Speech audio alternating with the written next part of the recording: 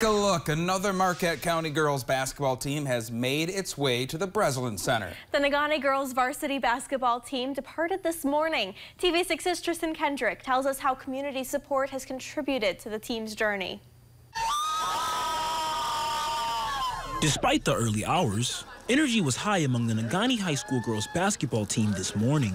After beating Powers Catholic School from Flint Tuesday in Sault Ste. Marie, the team will play Edison Academy from Detroit at the Breslin Center in the MHSAA Division II state semifinals tomorrow. Head coach Mike O'Donnell says he's been overwhelmed by the community support. In the Soo, we had a, a huge following and really think for a quarterfinal game that kind of helped us through. We've had multiple support uh, through monetary donations coming in. Uh, it just never ceases to amaze me, even though, you know, this has happened on the boys' side and the girls. Community always steps up, and it's just, it's really appreciated by the girls. O'Donnell also says this is the first time the girls' program has made it this far. It's pretty neat, you know, these, these girls, a lot of them have never even been inside the Breslin, so it's just going to be an experience in itself.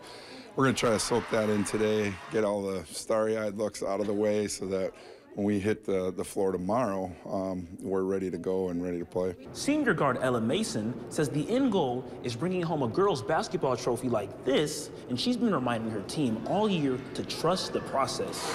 Trust what has gotten us this far, and you know, just keep doing that, and we'll be all right.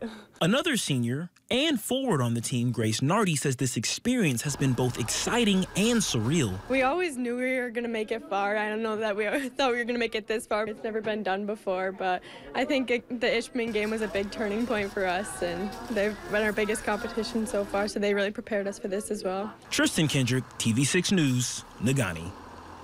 Negaunee's game tips off tomorrow at 5.30 in the evening in East Lansing. Ishpeming is underway right now. We will have a live report coming up in just a few minutes.